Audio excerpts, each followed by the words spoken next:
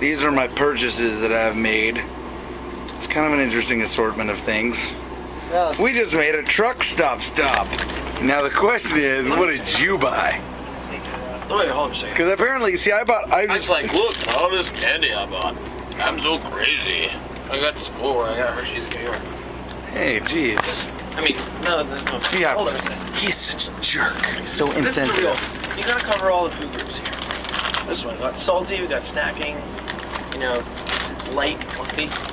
Always good. Light and fluffy. Okay. Okay. Variation on different teas.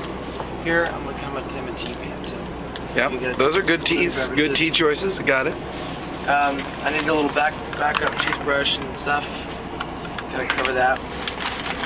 For those late night munchies, you know, where you need a little bit of sustenance, but you want a little zing, you know, a little extra energy. Uh, maybe you're having a, more of a spicy craving. Okay. Is that is that the hot peanuts? Yeah, chipotle. flavor. Chipotle. Okay. Okay, come on. Um, this is sort of my drug of choice. Backup. Drug of choice. Okay. It's like two eight balls. Got it. Um, you can never go wrong Eight with balls of donut crack. holes. Okay. Donut holes. Chocolate covered donut holes. Got it. She's like another form of crack. Got it. Um, and then you know, It's like that is chocolate write crack. it out with a little ibuprofen for what comes after you eat all that stuff. Got it.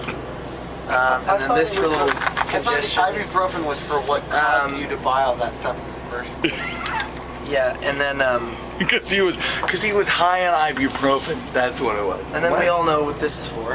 Uh, Oh, to cut your toenails. this. See that right there? That is that is a That's variety. It's a well, it's a well shops truck stop.